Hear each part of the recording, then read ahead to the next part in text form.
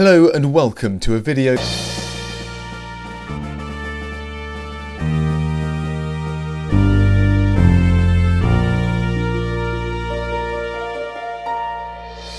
Starting off the news this week, a study published in the journal Biology Letters has detailed the discovery of a case of facultative parthenogenesis in a crocodile for the first time.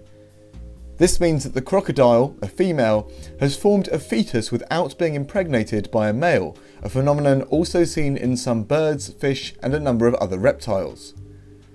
Reports of this have been growing quite rapidly over the last couple of decades, especially amongst those found in snakes.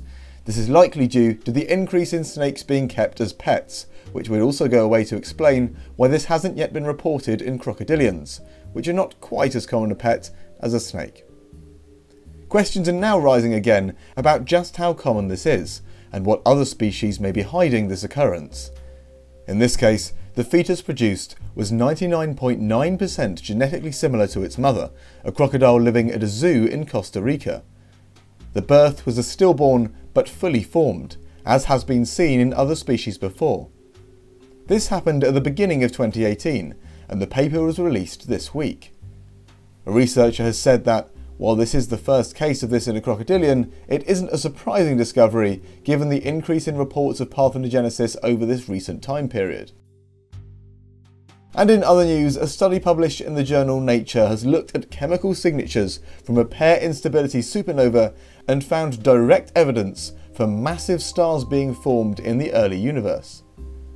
These massive stars, potentially over 250 times the mass of our own Sun, would have become pair instability supernovae, and this event would have left a unique chemical signature that, before now, had not yet been observed.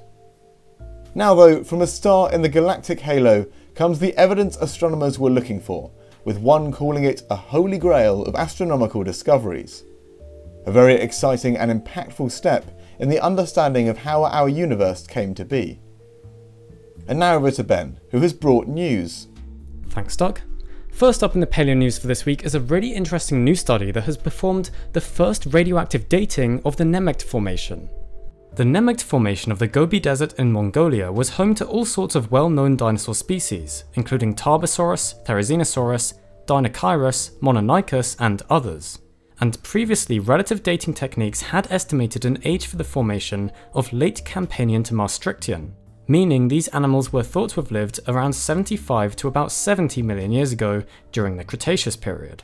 However, this new study uses a combination of uranium-lead isotope dating, trace element analysis, and Y screening analysis on five Tarbosaurus teeth collected from the formation, finding that an age of 66.7 million years is actually the lower limit of the age of fossilization for these samples, plus or minus 2.5 million years. This age therefore supports the dating of the formation as during the Maastrichtian stage of the Cretaceous, but seemingly younger than previous estimates.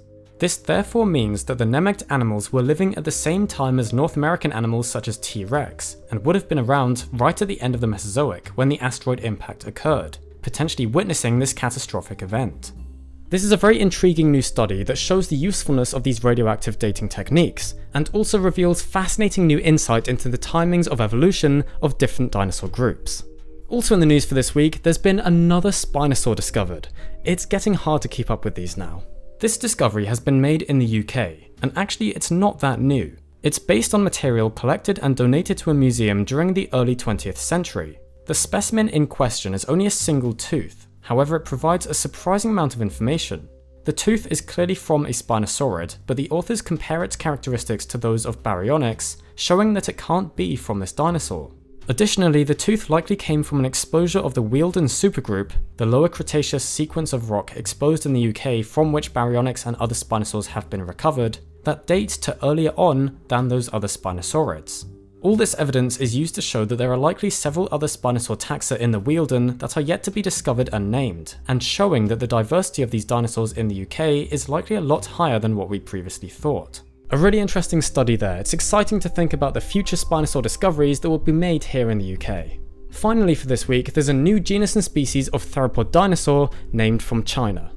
Called Migmanychion laiyang, the fossils of this new species comprise a partial left forelimb with a complete hand, preserved in the rock as a slab and a counterslab.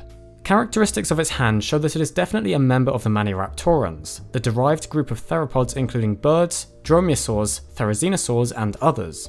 But beyond this, its relationships to other dinosaurs are unclear. The hand anatomy of this animal does show some similarities to Therizinosauroids, the basal Therizinosaur fukuivenator, and Oviraptorosaurs, but more material is needed to properly figure out how it is related to these other groups. Well, that's it for the paleontology news this week. I hope you enjoyed learning about these fantastic discoveries. Back to Doug in the studio. Thank you, Ben. Well, that's it for this week's 7 Days of Science. I do hope you enjoyed, and we'll see you on Sunday.